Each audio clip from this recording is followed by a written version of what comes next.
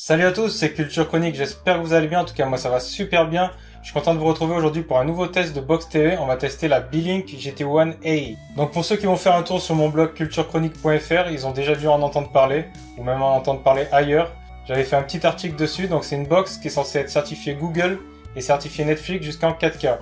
Donc je me suis dit, je vais l'acheter, je vais la commander, je vais la tester, et je vais vous dire ce que j'en ai pensé. Donc dans le milieu des box télé, il n'y en a pas beaucoup qui sont certifiés Netflix. Donc il y a la Xiaomi Mi Box S, mais elle n'est pas très puissante. Et il y a la Nvidia Chill TV, qui est beaucoup plus puissante, mais qui est aussi beaucoup plus chère. Donc aux alentours des 200 euros. Et donc là, on est censé avoir une box intermédiaire qui est trouvable à partir de 65 euros en import chinois. Et donc qui est censé être certifié Google et certifié Netflix. Donc avec Netflix en 4K, le Chromecast, etc. Donc on va voir ce qu'il en est réellement tout de suite dans le test. Allez, c'est parti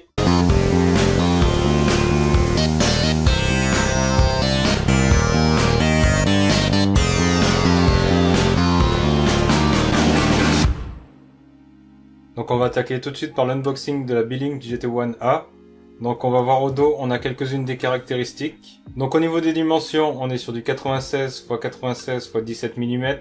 On a un CPU AM Logic S912, un GPU Mali T820 MP3. Donc au maximum, ça délivre de la 4K à 60 images par seconde. On a 3 Go de mémoire, 32 Go de stockage, le Wi-Fi 802.11 ABGN AC, double bande 2,4 et 5 GHz.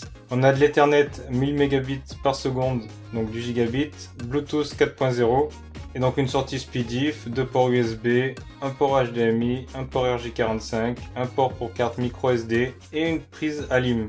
Et bien sûr, on a un adaptateur à l'intérieur. Donc cette box, ça m'intéressait de la tester parce qu'elle est sous Android TV et donc apparemment, elle serait certifiée par Google et puis elle permettrait de faire fonctionner Netflix jusqu'en 4K. Donc je demande à voir ça, donc je l'ai pris pour la tester justement pour voir si c'est vrai. Donc parce qu'au niveau des box qui sont certifiées Netflix jusqu'en 1080p ou 4K, il n'y en a pas énormément. Et bien souvent, on doit prendre une Xiaomi Mi Box TV ou une Mi Box S dans les box pas très chères. Donc c'est plutôt bien présenté, donc on a la box ici, donc on voit bien B-Link. Donc pour ceux qui ont déjà vu la B-Link GT1 classique, c'est la même. Hein. Il y a presque tout d'identique. D'ailleurs, quand on regarde sur la boîte, on voit écrit B-Link GT1, mais il n'y a pas de A. Donc pour voir un petit A, faut bien chercher. Il n'est pas là, il n'est pas là, il n'est pas là non plus. Il est juste là, avec une petite étiquette. Donc c'est collé. Donc comme je disais, c'est plutôt bien présenté. Donc c'est une box qui avait fait ses preuves. Hein. Ici on est dans une version qui a Android TV. Mais sinon la box originelle, c'était une box de qualité. Donc je la trouve toujours aussi bien finie. Donc euh, au niveau définition, il n'y a pas de problème. Donc ça reste un petit carré, comme bien souvent sur les box chinoises. Mais après, au niveau définition, c'est mieux fini que la moyenne. D'ailleurs, le dessus est bien joli aussi. Donc on voit bien B-Link Ultimate. En dessous, on a quelques inscriptions et justement des aérations. Donc ça peut toujours servir pour refroidir la box. Sur le côté gauche, on a le port pour carte micro SD, un port USB. Derrière, on a la prise ALIM, un deuxième port USB, la sortie HDMI, le port Ethernet et la sortie SpeedIF, donc pour le son. Donc si on veut relier ça à un ampli avec un câble adapté. Ensuite avec ça, on a le livret si on a un problème. Donc ensuite à l'intérieur on a l'alimentation, le câble HDMI et la télécommande. Donc pour ceux qui ont déjà vu mon test de la box Mecool Pro W sous Android TV, on avait la même télécommande. Et donc quand je secoue, ça fait un bruit parce qu'il y a un dongle USB dedans. Donc il faudra brancher le dongle USB sur la box pour que la télécommande elle fonctionne. Alors la télécommande elle est plutôt jolie, elle a une belle forme, j'aime bien les touches ou quoi, mais moi j'avais pas apprécié du tout le dongle à l'époque. Et je trouvais qu'il y avait des interférences, que la qualité de réception n'était pas terrible, et des fois il fallait appuyer plusieurs fois sur les touches pour que ça fonctionne. Donc on va voir si ça fonctionne mieux, si ça venait de la box à la base, ou de la télécommande. Et puis un petit carton. Donc on a la box, le câble HDMI, l'alimentation et la télécommande. C'est parti pour le test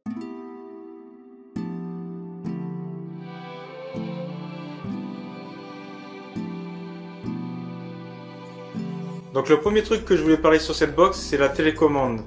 La télécommande, elle fonctionne bien, c'est pas ça le problème. Donc on a deux ports USB sur la box. Malheureusement, il y a un port USB qui est pris par le dongle pour faire fonctionner la télécommande. Donc c'est dommage. Au final, ça fait comme sur une Mi Box S, on n'a qu'un port USB de libre. Ensuite, au premier démarrage de la box, on va être invité à faire les réglages avec son téléphone ou manuellement avec la télécommande. Donc si on fait ça avec le téléphone, on va voir qu'on peut utiliser son smartphone comme télécommande avec l'appli télécommande Android TV. Sinon, on peut aussi brancher un mini clavier avec trackpad sur la box. Donc il va falloir brancher ça avec un petit dongle USB aussi.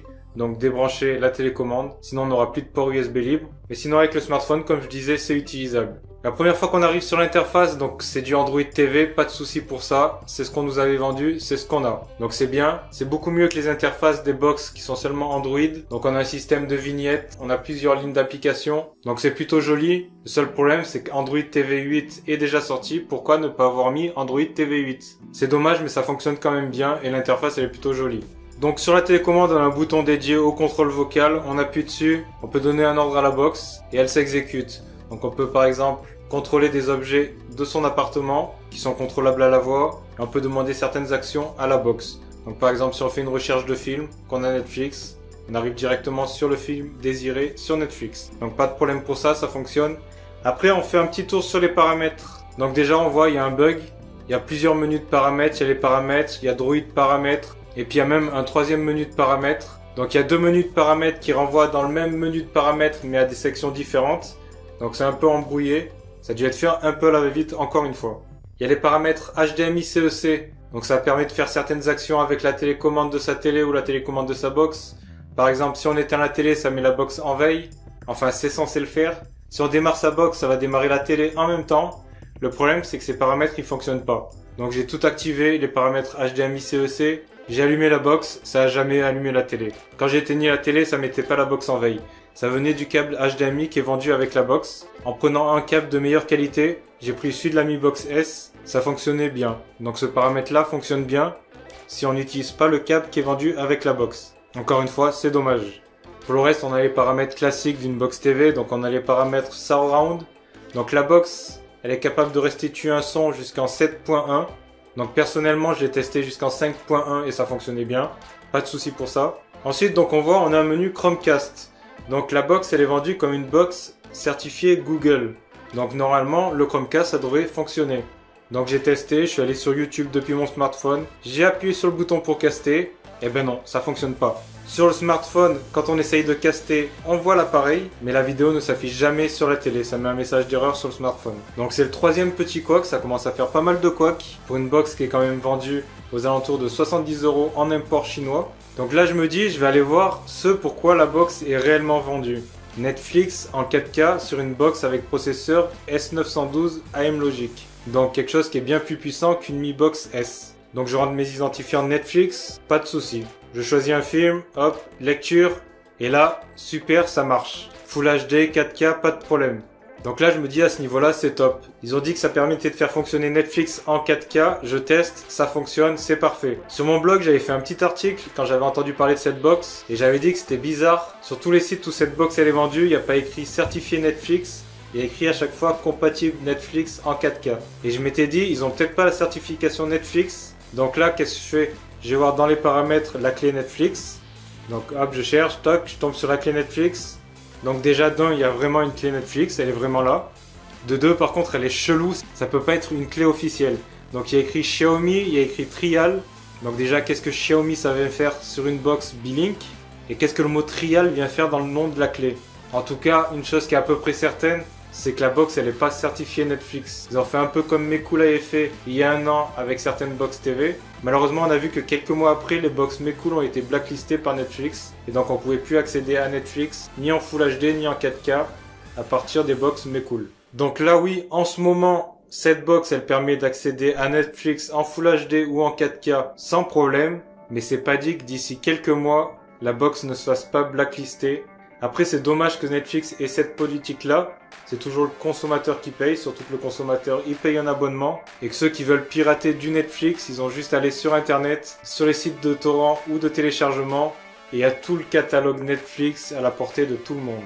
Enfin bref, c'est ceux qui payent des abonnements qui payent les pots cassés encore une fois. Pour le reste des applications de streaming vidéo, donc sur le Play Store, j'ai pas trouvé Prime Video. J'ai téléchargé un APK, je l'ai installé, mais impossible de regarder des films sur Amazon Prime Video avec cette box. Donc peut-être avec une autre version de l'APK, mais pas avec celle que j'ai trouvée.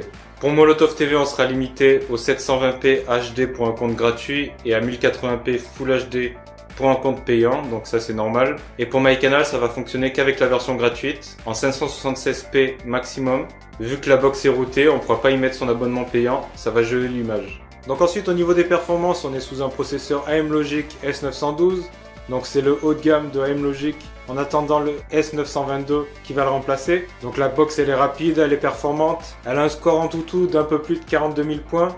Donc rien d'illogique pour du S912. Par contre il y a des box avec ce processeur là qui ont quand même un meilleur score. J'ai testé aussi sur 3D Mark qui est plus orienté graphisme. Au niveau des scores c'est pas trop mal.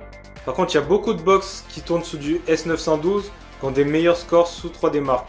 Donc les scores de cette box ils sont pas trop mal, on est quand même au-dessus d'une Mi Box S. Au niveau des jeux du Play Store, donc on va pouvoir faire tourner pas mal de jeux dans les réglages bas ou moyens. Les jeux les plus récents, ça va poser quelques problèmes, il y en a certains qui tourneront même pas. Mais bon, par exemple, un jeu comme Wheel Racing 3, il pose pas de problème.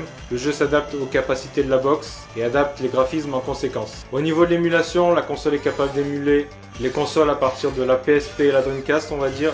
Donc pour la PSP et la Dreamcast, ça va être au cas par cas, donc il y a certains jeux 3D qui vont fonctionner, alors que d'autres non. Les jeux 2D pour la plupart ils poseront pas de problème. Ensuite pour la N64 ça sera beaucoup mieux.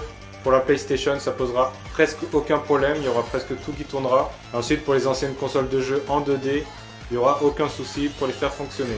Donc niveau jeu vidéo, c'est plutôt très bien. Ensuite, en lecture de fichiers 4K, donc j'ai testé ça sur Kodi avec des films stockés sur un disque dur que j'ai branché en USB. Comme d'habitude, je fais le même test pour toutes les box, le même disque dur et la même application. J'ai fait mon test des fichiers de Méduse, donc j'ai plusieurs fichiers de Méduse identiques encodés à un débit différent et je vois à partir de quel débit la box a du mal à lire ces fichiers-là. Donc le débit en lui-même, il est valable que pour ces fichiers-là. C'est juste pour faire un comparatif avec d'autres box. Donc si vous voulez voir le tableau comparatif de toutes les box que j'ai testées sur leur score en tout 3D Mark, leur test de méduse, etc., je vous ai mis le lien en description de la vidéo. Donc il y a entre 10 et 20 box que j'ai testé sur ma chaîne YouTube ou sur mon blog culturechronique.fr et j'ai mis leurs caractéristiques. Le classement il est effectué sur leur score en tout Donc pour cette box, elle a lu sans problème le fichier de méduse encodé à 180 mégabits par seconde alors dans les faits, la box lit sans trop de problèmes les films et les séries en Full HD et en HD. En ce qui concerne les fichiers en 4K, elle est capable de lire correctement la plupart des films dans cette définition-là. Après, comme la plupart des box, les fichiers les plus lourds, elle aura un peu de mal. Mais globalement, pour la plupart des films et séries en 4K, il n'y aura pas trop de soucis. Alors pour ce qui est des débits internet, donc c'est du très très bon. En connexion par câble Ethernet, donc c'est du gigabit. Donc pas de soucis même si on a de la fibre. En Wi-Fi, c'est excellent, donc j'ai obtenu 83 Mbps en débit descendant et 82 Mbps en débit ascendant. Donc pas de souci par exemple si on veut regarder des films en streaming avec Netflix en 4K, vu que Netflix recommande du 25 Mbps pour la 4K. Alors voilà, ce test est terminé. Maintenant, si vous désirez acheter la box, moi je vous conseille de ne pas l'acheter du tout. Il y a des box qui coûtent 20-25 euros moins cher qui font exactement la même chose. La certification Google c'est du vent, la certification Netflix c'est du vent. Même si Netflix en 4K ça fonctionne, c'est pas dit que d'ici 2-3 mois ça ne fonctionne plus et que la box se fasse blacklister par Netflix. À côté de ça, il y a aussi le problème de la télécommande qui prend un port USB, il y a le problème du HDMI CEC qui fonctionne pas avec ce câble HDMI là. Donc pour moi, je vous conseille de pas l'acheter et de vous tourner vers une autre box qui est trouvable 20-25 euros moins cher. Par exemple des Mecool qui sont aussi sur du Android TV ou une B-Box S qui sera vraiment certifiée Google et certifiée Netflix et qui sera quand même moins puissante. Sur ce, pour ceux qui sont toujours pas abonnés à ma chaîne, n'hésitez pas, ça se trouve en bas à droite. Vous pouvez aussi me lâcher un petit pouce bleu si vous avez kiffé la vidéo, me suivre sur Facebook, Twitter et sur mon blog culturechronique.fr. Sur ce, portez-vous bien, passez une bonne journée et à une prochaine. Ciao ciao